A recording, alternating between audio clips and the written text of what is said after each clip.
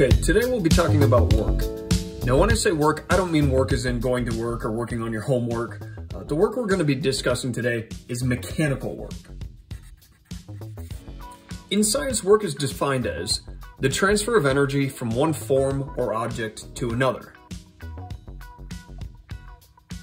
So anytime an object heats up, a chemical reaction occurs, or even just giving a block a push, energy is transferred. So work is done.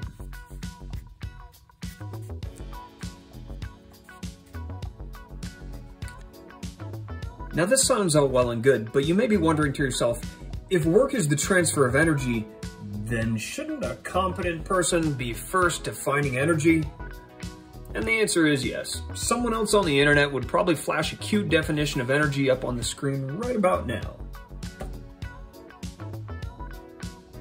But the issue is, energy is an incredibly intangible thing.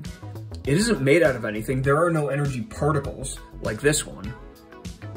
So the only way we can really define energy is to say it is the result of work or mechanical work. To create a more tangible analogy for this issue, let's take a look at, well, the, the concept of love. Yeah, this is happening. I'm talking about feelings and emotions. Ugh. You can't see love, but you can see the effects of love. When two people love each other, you can see how they behave. The kissing and the, the communicating and all that business. Ugh. You don't see the love directly, but you see the transfer of that emotion. Ugh, I hate this example. The same thing applies to energy though. We know objects have energy, not because we can observe energy directly, but because we can observe energy being transferred, or work being done, either on or by them.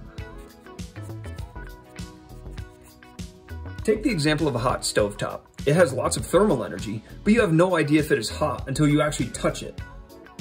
And the energy is transferred to your now hot hand.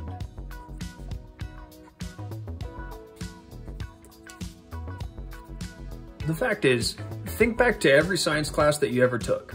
Did anyone ever tell you what energy actually is? Or what it's made of? The answer is no. At first this may sound strange, and if you need to pause the video to run a mental playback of your high school science, only to realize nobody ever actually told you what energy was, that's okay.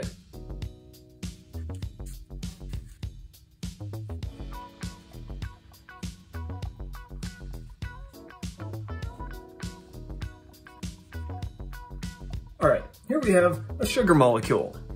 Now there is not a high school chemistry teacher on earth who's not talked about the energy released when a sugar molecule is broken down into glucose fructose. When they talk about the energy released in this reaction, really what they were talking about was work. That is the energy released or transferred in that reaction from this sugar molecule to say my kid on Halloween. Just bonkers.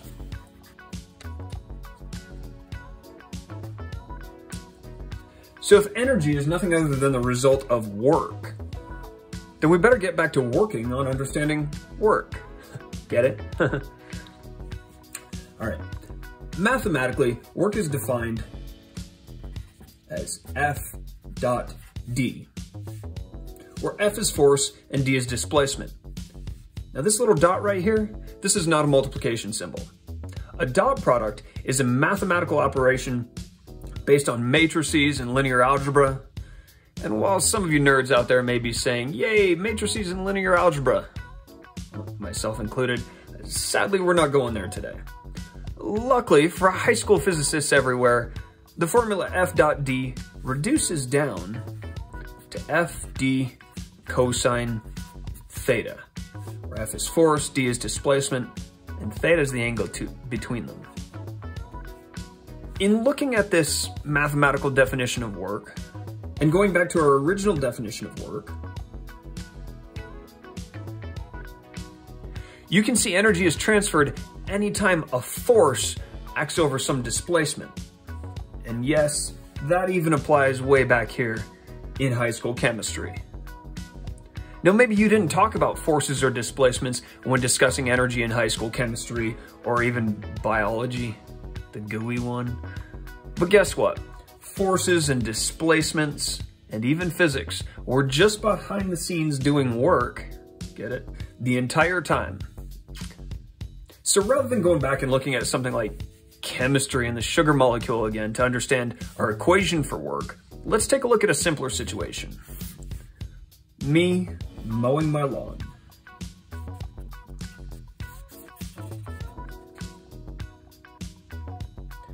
If the lawnmower is pushed with some force F at an angle theta relative to horizontal, a total displacement horizontally that is d, then there's energy transferred from me to the mower. Unfortunately, friction is also doing work on that mower. So while, yes, there is work by me pushing on the mower, friction is also going to do work. See, friction is in the opposite direction of displacement of the mower, so it's constantly doing negative work on the lawnmower, taking energy away. Now, how do we know friction is doing negative work on the mower, you ask? Well, going back to this equation, friction is acting backwards in the opposite direction of displacement. So there is 180 degrees between the displacement vector and the friction vector. Well, the cosine of 180 is negative 1. So the work by friction will be negative. Ultimately, if I push my lawnmower, I'm giving it energy or doing positive work on it, and friction is taking that energy away. Now, if you're feeling a bit mathy, there's another way to look at work.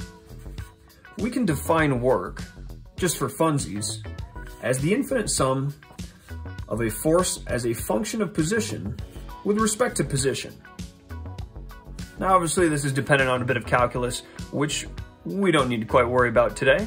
We'll save that discussion for another day. So, here we've got it. Mechanical work is defined as FD cosine theta, or if you want to nerd it up, the integral of f of x dx. We've gone through and we've managed to talk about how work relates to energy. We've even pulled in a little bit of, God forbid, feelings and emotions, and just as bad, chemistry into this to arrive at an understanding of work and energy. So on that note, that's all for now.